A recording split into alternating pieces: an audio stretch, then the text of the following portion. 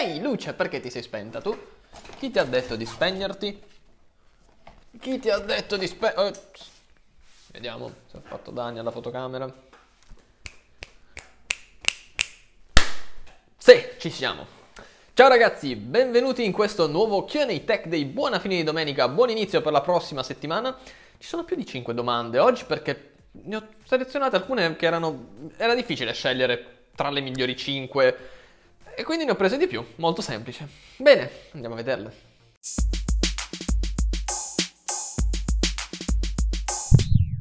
No, non mi sono drogato, se ve lo state chiedendo. Diego Pedata. Q&A, secondo te Nintendo potrà mai realizzare smartphone? Direi proprio di no, perché diciamo che Nintendo nell'ultimo periodo era già un po' inguagliata in ambito console, quindi ora con Pokémon Go, con eh, un po' di altri giochi, magari per loro anche con Nintendo Switch si risolleveranno un po', ma eh, di sicuro non vanno ad aggredire un mercato dove comunque non potrebbero dire chissà cosa, ecco.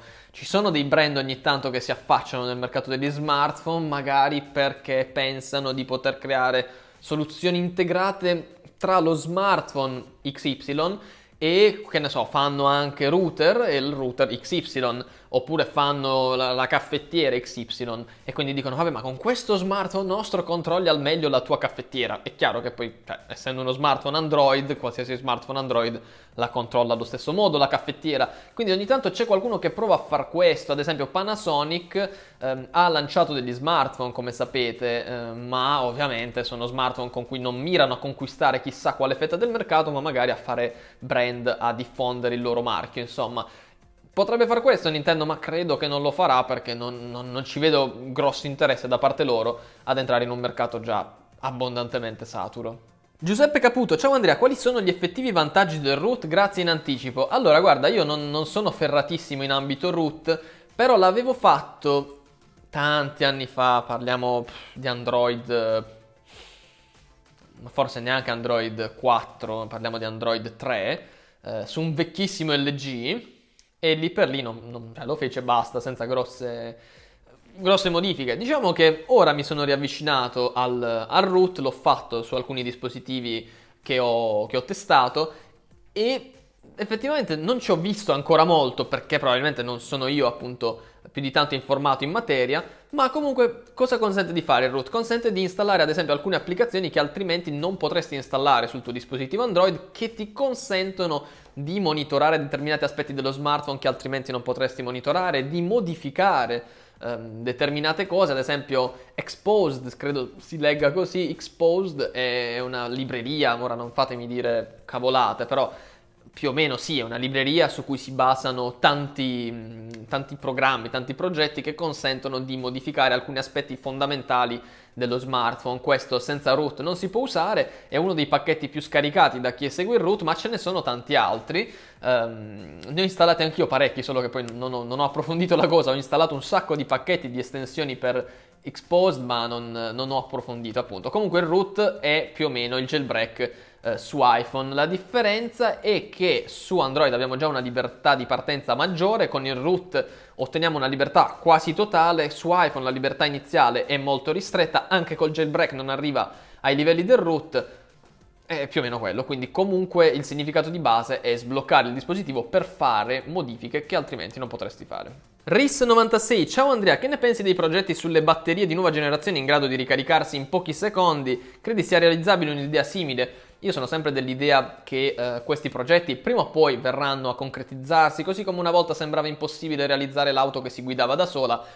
Oggi non è più impossibile, oggi siamo abituati, certo mm, credo nessuno di noi ne ha vista una per strada eh, muoversi, ma probabilmente tra qualche anno quando vedremo le prime auto autoguidate eh, diremo, ah ecco, quella è un'auto guidata, ma non ci sembrerà una cosa fuori dal comune, quindi credo che un discorso del genere sulle batterie sia assolutamente fattibile, però al tempo stesso credo che non ci siano oggi le tecnologie per portare queste ehm, batterie che si ricaricano così in fretta sugli smartphone senza incorrere nei rischi che senza arrivare a batterie che si ricaricano in pochi secondi, ad esempio Samsung ha corso, e infatti le è andata male, con Note 7. Rex 2.28 Ciao Andrea, se potessi ricomprare la tua HP Racing lo faresti oppure no? Allora, lo farei, sì, sì, sì, lo farei assolutamente, anche di quel colore perché mi piace, si intona bene con la mia camera. Ma um, una cosa che non mi è piaciuta alla lunga sono i poggiagomiti perché si sono un po' rovinati con... Vabbè, io sto spesso seduto e spesso con eh, i gomiti appoggiati lì appunto e la, la, la, gommina non è di qualità eccellente, alla lunga si è rovinata, però poco male, si possono cambiare. Però per il resto sedia impressionante, ancora ha resistito benissimo, non ha segni di deterioramento dopo quasi due anni e la ricomprerei assolutamente. Edoardo Urso, ciao Andrea, non hanno mai pensato di fare i frame in fibra di carbonio sugli smartphone? Potrebbero ridurre il peso e aumentare la robustezza. Sì, è un materiale che non è stato mai usato, credo, effettivamente. Um, qualche dubbio mi viene soltanto poi, cioè sulla resistenza sì, ok, il peso anche ridotto, però sulla compatibilità magari con... Uh, ciò che c'è dentro lo smartphone, su, su, su, valutazioni fatte ad esempio sulla resistenza al calore di questo materiale, ehm, se l'hanno scartato credo che un motivo ci sia sinceramente, se hanno preferito altre soluzioni come l'alluminio, magari anche ehm, realizzare uno smartphone in fibra di carbonio non è facile, non so quanto sia malleabile questo materiale, quanto sia possibile eh, creare delle cose piccole come uno smartphone alla fine, non un'automobile o altre cose più grandi. Eh, quindi se non l'hanno ancora fatto, secondo me è un'opzione che hanno anche valutato magari. O se non l'hanno valutata, boh, potresti aver dato una buona idea a qualcuno. Pietro Lombardi, ciao Andrea, grande. Quali sono le tue prime impressioni di Huawei P10? Credi che sarà un best buy? Secondo te può riconfermare la bella reputazione che si è fatta con il P9? E poi domanda collegata a questa, Domenico De Marco. Ciao Andrea, tra le prime immagini e caratteristiche tecniche, quale smartphone tra Huawei P10 da GG6 e Samsung Galaxy S8 ti ha colpito di più fino ad ora? Allora, partiamo prima dal P10 in sé per sé e rispondiamo anche quindi lato P10 alla seconda domanda. P10, io voglio vederlo dal vivo ovviamente, però non mi sembra brutto, a livello tecnico mi sembra eccellente. Uh, la MIUI, la, la MIUI ora, la, la MUI di Huawei è bellissima, l'ho provata sul Mate 9, la nuova MUI 5 è ancora più bella.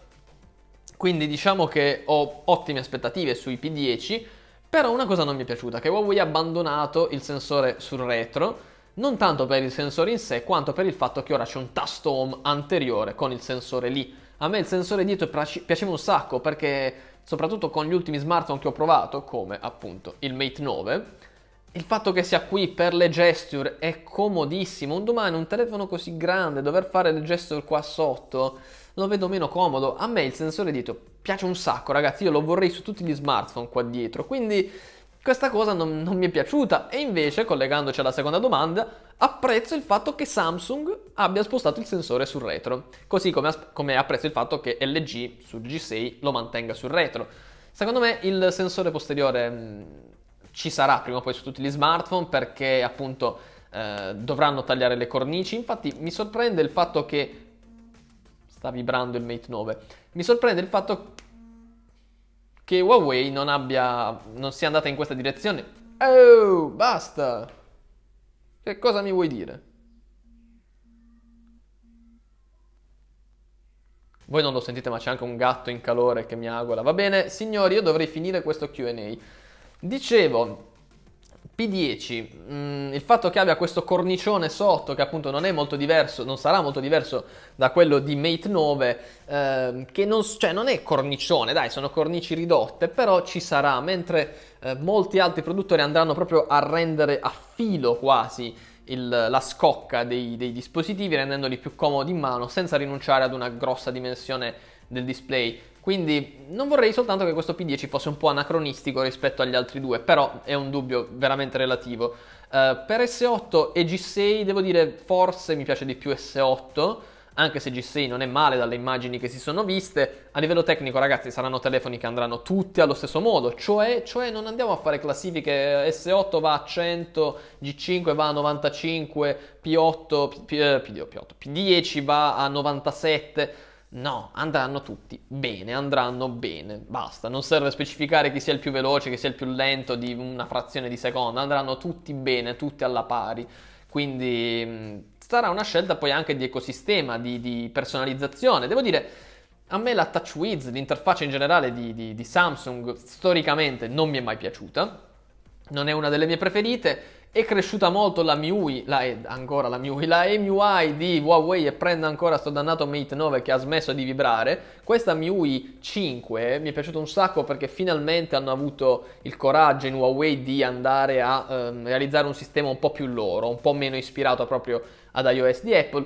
E l'interfaccia di LG invece è una di quelle che apprezzo eh, di più, quindi sono curiosissimo di vedere se ci saranno novità sul G6 Ragazzi, saranno tre ottimi telefoni. Io sinceramente non so per quale propendere. Avrò la fortuna di provarne e di eh, vederne subito due, cioè eh, G6 e eh, P10 tra meno di un mese, tra quasi due settimane. E quindi, e quindi non vedo l'ora. Per S8, se Samsung sarà benevola, mi inviterà anche lì e quindi vedrò anche lui, lo proverò vi dirò a brevissimo. Per il momento dico che sono tre dispositivi molto interessanti, Forse a livello estetico mi piace di più. S8. Ecco, ve l'ho data la risposta. Bene ragazzi, ora lasciamo che il gatto in calore vada a fare quello che sta cercando di fare da diversi minuti. Mate 9 ha smesso di vibrare, direi che possiamo chiudere qui il video, ma no, no, non chiudetelo, dai, dai, ci sono quei brutti pulsanti, ve l'ho già detto in un altro video, con quei colori brutti, così grigi, c'è un bel colore nel mondo che è il blu, è il colore del cielo, è il colore dell'acqua ed è il colore anche del tasto like se lo schiacciate in questo momento.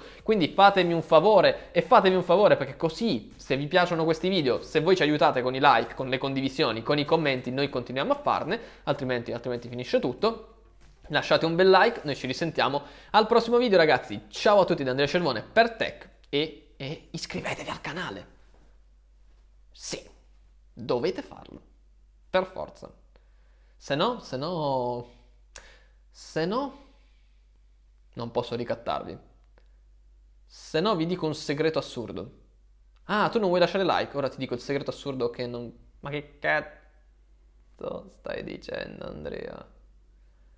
Va bene, era uno scherzo, vi ho solo dato tempo per lasciare un like, spero che l'abbiate fatto nel frattempo. Sto gatto continua proprio a lamentarsi in un modo assurdo, ora, ora vado a vedere, dai, vado a vedere cosa vuole. Voi lasciate un like. Ciao!